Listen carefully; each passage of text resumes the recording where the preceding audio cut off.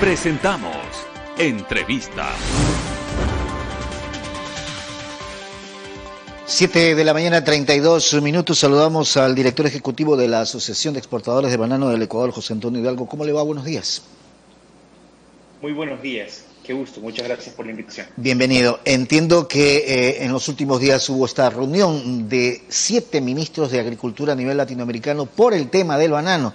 Y hay una declaración de manera conjunta que se hizo y fundamentalmente se centra en qué? Muchas gracias. Eh, esto es primero algo histórico que ha hecho el ministro de Agricultura, Pedro Ala. no, se habían reunido los siete ministros de los países productores exportadores de banano para poder atender eh, estas problemáticas que son necesarias poderlas declarar a ese nivel.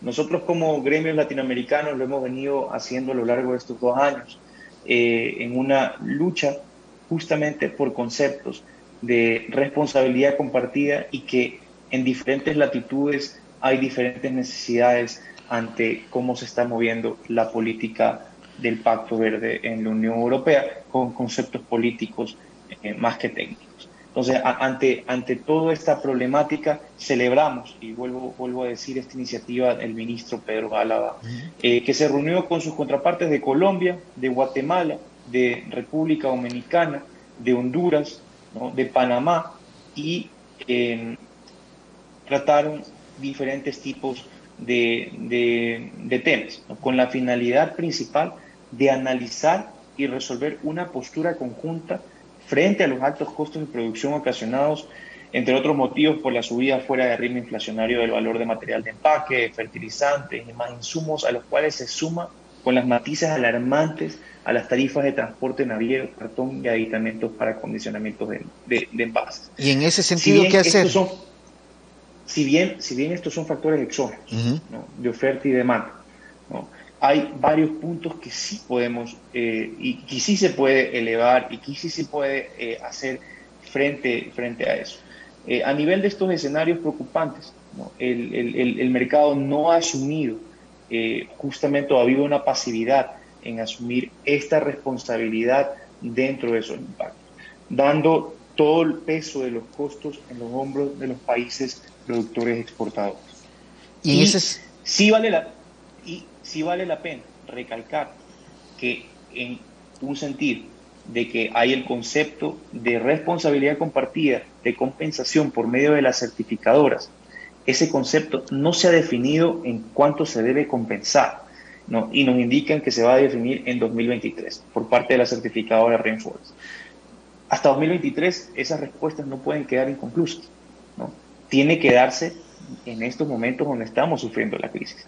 Y en ese sentido es que al nivel que se manejó, eh, que la compensación sea de acuerdo a los parámetros de otra certificadora que sí lo de una certificación que sí lo maneja de una manera de reconocer los factores exógenos, analizando las particularidades de cada país, que es fair trade o comercio justo.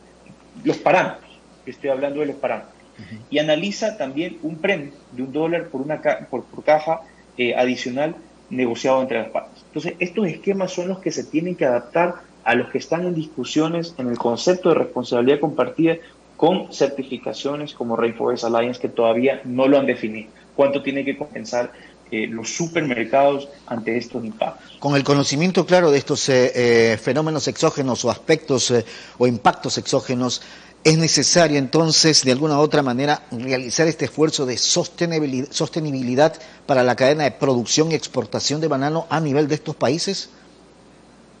Así es, es una batalla conjunta hacia la Unión Europea, ya que eh, si bien todas las exigencias suben, se incrementan, pero la tendencia de precios baja. En los últimos años ha sido una tendencia de precios eh, por menos del 20%. Entonces hay una total incongruencia en las posiciones de lo que quiere la Unión Europea. ¿no? Y tenemos que ir hacia políticas incluso de eh, cero desperdicio, zero waste food. Entonces eso, e, ese tipo de conceptos son los que nosotros tenemos que empezar eh, a posicionar dentro del mercado. Y, el segundo punto, crear alianzas, crear alianzas sobre las gestiones de los recursos internacionales para combatir el fusario en raza 4 a nivel regional. Ahí hay un tema muy importante, José Antonio, sin duda alguna, porque lo del fusarium genera preocupación a todos los países, porque si bien puede estar en la frontera de, ambos países, dependiendo el, sitio o la zona fronteriza, es necesario el cuidado de todos, eh, porque si no esto se riega como pólvora. Así es. Eh, ya, ya, ya, lo tienen nuestros países vecinos, Perú y Colombia, pero tienen que ser tiene que ser un, gran trabajo de contención, eh, que hasta ahora en Ecuador no hemos tenido en Raza 4, pero tiene que haber una cooperación regional. Hemos tenido una cooperación bilateral con Colombia en este sentido. El presidente Iván Duque incluso se ha reunido con el presidente Lazo eh, el año pasado sobre este punto, pero eh, ya llevarlo a este nivel es totalmente positivo porque la integración para poder combatir este hongo es necesario y los recursos internacionales para hacerlo también. Hay que también eh, buscar esta coherencia de criterios internacionalmente, porque no se pueden manejar por sí y ante sí de manera eh, solitaria cada uno de los países productores y exportadores de bananos, José Antonio. Y, eso es importante, esa coherencia es la que queremos que haya en la Unión Europea. y, y por eso todos los países se están uniendo. Competimos en el mundo, pero yo creo que es positivo que nos unamos ante las problemáticas comunes. Eh, ¿La crisis de contenedores afecta al sector exportador? A, todos los sectores de comercio internacional. Yo creo que nos ha afectado la crisis de contenedores, el incremento de materias primas, principalmente del cartón, que es uno de los, eh, uno de los productos que eh, repercute o, que, tiene un gran impacto en la exportación, más que todo. ¿Y la inflación alta en Estados Unidos ahora, en los últimos días, también genera afectación al sector exportador de banano?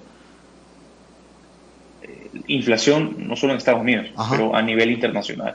Son factores que van sumando, eh, y, estimado Javier. Y, ante eso, ¿no? Eh, y ante eso, nosotros sí requerimos que haya un trabajo de competitividad interna. El sector bananero lo que pide es menos presión no es que estamos pidiendo compensaciones, es menos presión. Tenemos una carga impositiva de 470 millones de dólares. Eh, tenemos fuertes inversiones que hacer en Fusario, en protegernos ante Fusario en raza 4, fuertes inversiones que hacer en protegernos contra la contaminación eh, ante ese gran mal que es el narcotráfico en, seguridad privada. Eh, tenemos estos impactos ya mencionados sobre eh, los insumos, sobre el flete naviero, sobre eh, las repercusiones de la política verde y además de los costos locales eh, navieros. Somos uno de los países que tiene los costos locales más altos, cerca de 600 dólares versus 160 que, tienen otros países.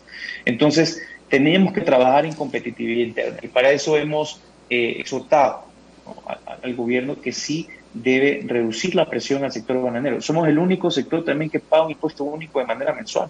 Se requieren, se requieren, se requieren políticas que permitan reactivar más al sector y no eh, eh, perjudicar al sector. Así es, y la decisión justamente también de, de, una decisión política de incremento salarial eh, también juega porque todo eso va sumando. Mm. Entonces tenemos que activar mecanismos que incluso ya están en la ley la devolución automática de impuestos. Ya está hace dos años en la ley, pero no hay el reglamento para activar ese. ¿no? la reducción del ISD a los fletes navieros, yo creo que sería de gran ayuda para el comercio internacional y no es de gran impacto. Y lo último. 170 partidas arancelarias que hemos mandado a comercio exterior que también deben activarse. Y lo último, José Antonio, para cerrar ese diálogo, ah, hay una feria en Berlín y es obviamente también fundamental, aunque sea virtualmente, tener presencia allá. El tercer punto, tenemos, nosotros como, como Asociación de Exportadores de Bananos vamos a tener un stand, eh, vamos a hacer un paraguas con exportadores que se van sumando, pero vale la pena tener esa agenda público-privada que lo han mencionado los ministros en su reunión el 12 de enero, eh, con miras no solo a ir a la Feria Fruit Logística de, de, Berlín y a participar en el Foro Mundial Bananero que es la PAO, pero a una agenda intensa en Bruselas, con estos puntos principales que nos unen a nivel regional. José Antonio, quiero agradecerle ¿ah? por haber estado con nosotros esta mañana. Buen día, buen año también. ¿ah? Muchas gracias, muchas gracias, feliz año. Gracias, José Antonio Hidalgo, quien es director ejecutivo de la Asociación de Exportadores de Banano del Ecuador, a propósito de esta reunión que tuvieron los siete ministros de Agricultura de Latinoamérica por temas como los que hemos analizado. Hacemos la pausa, regresamos enseguida.